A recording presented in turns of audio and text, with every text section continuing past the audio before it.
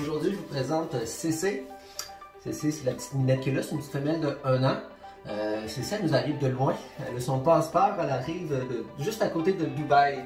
Elle nous a été transférée là, au Québec dans un autre refuge. Puis ensuite, le refuge nous l'a transféré ici pour qu'on la fasse adopter. Donc, euh, c'est ça. C'est une petite femelle de 1 an. Euh, elle est ataxique. Donc, c'est pour ça que vous la voyez qu'elle a de la misère. Euh, elle n'est pas vraiment stable, mais c'est stable.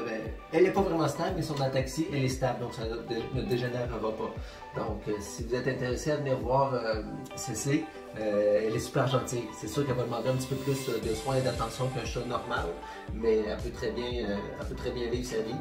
Puis elle est quand même super affectueuse, puis c'est une bonne, petite minute. Thank you.